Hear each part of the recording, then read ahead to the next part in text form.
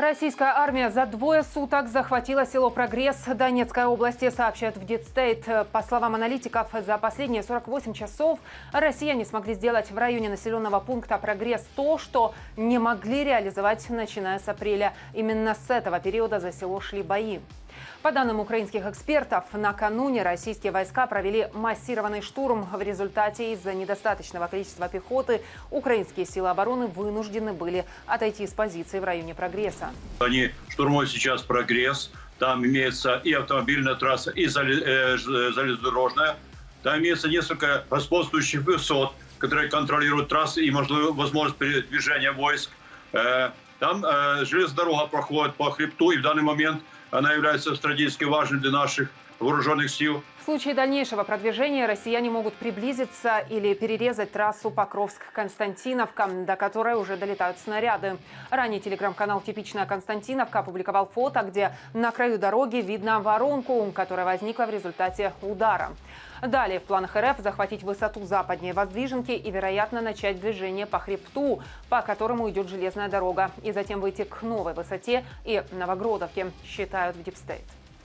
Однако в Генштабе ВСУ об отходе сил обороны из села Прогресс не сообщали, но в свежей сводке отмечалось, что на Покровском направлении украинские защитники отбили 52 штурма. Наступления россиян значительно усилились в последние две недели. При этом жмут одновременно по всей линии фронта, сообщил новостям Донбасса офицер 59-й отдельной мотопехотной бригады ВСУ Сергей Цехоцкий.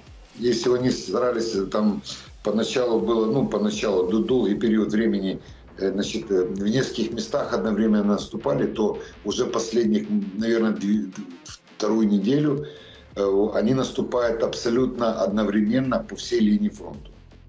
То есть абсолютно, то есть нету такой точки метра, сантиметра, где бы они не наступали.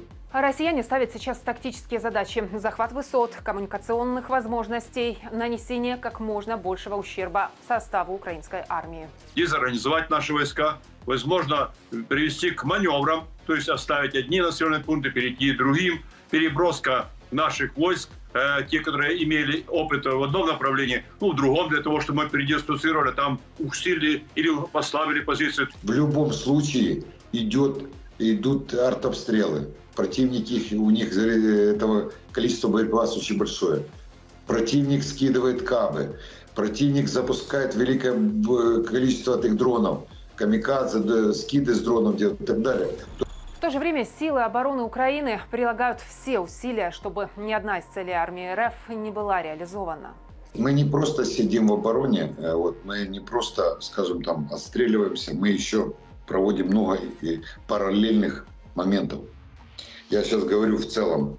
Это и работа в глубоком тылу противника, это работа и на этих линиях участков, где они пытаются идти в штурм, на наступление.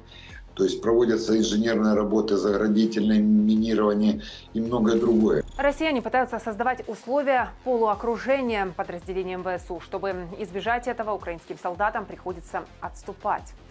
Войска РФ называют такие действия выдавливанием противника, когда он сам вынужден уходить без боя.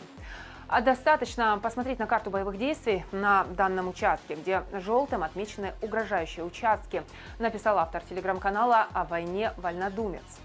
Информацию о том, что российская армия захватила село Прогресс, не подтвердил и не опроверг офицер мотопехотной бригады ВСУ Сергей Цехоцкий, однако подчеркнул, что каждое действие вооруженных сил Украины рационально взвешено. Я скажу так, что если где-то мы и отходим, то отходим только в том плане, что там все э, уничтожено, там нет смысла находиться, вот, и э, отходим на более выгодные позиции, потому что соотношение сил э, и отношение, во-первых, к своим военнослужащим, к своим э, побратимам, ну, у нас, ну, оно родное, это каждый человек действительно важно. А любое э, строение, любое село и даже город мы все равно восстановим в целом же Покровское и Кураховское направления остаются самыми горячими. Россияне комбинируют использование техники с пехотой и постоянно меняют тактику наступлений. Покровский, Кураховский напрямок, да, направление, как мы говорим, напрямок украинскую. Значит, э, в принципе, э, самое горячее, я, я, я ну, в других местах, ну, поверьте мне, не, не сильно там и, и прохладительное э, состояние. Но у нас вот на этом направлении, скажу очень горячий. Противник постоянно меняет тактику ведения боя. Постоянно. То, то есть он э, не традиционно, как всегда, там э, в пехотные штурмы, комбинирует э, использование техники, комбинирует сами пехотные штурмы. Ну а для отвлечения, конечно, они задействуют сейчас и ударные группы по всему Донецкому фронту, ну и, конечно, и Харьковское направление, и Покровское, вот, и Купинское, для того, чтобы у, раз э, балансировать наши силы, и мы вынуждены будем передислоцировать с этого направления, например, на Харьковское, где они демонстрируют новую э, ударную группу, которая якобы будет наступать в направлении Харькова. О том, что россияне перебросили дополнительные штурмовые группы в район Глубокого Харьковской области, сообщили и в Институте изучения войны.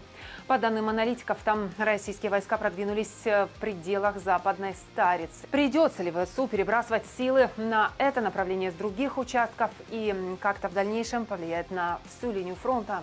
Что об этом думаете вы? Пишите в комментариях. Также подписывайтесь на наш телеграм-канал «Новости Донбасса», чтобы первыми знать главные события войны. Если же вы наш зритель, находитесь на оккупированной территории или в России, где заблокированы для чтения независимые СМИ, в число которых входят и «Новости Донбасса», то вот вам один из способов, как обойти блокировку. Загрузите и установите браузер Сина, чтобы иметь доступ к правдивым и независимым информационным ресурсам. Подробная инструкция в описании к этому видео.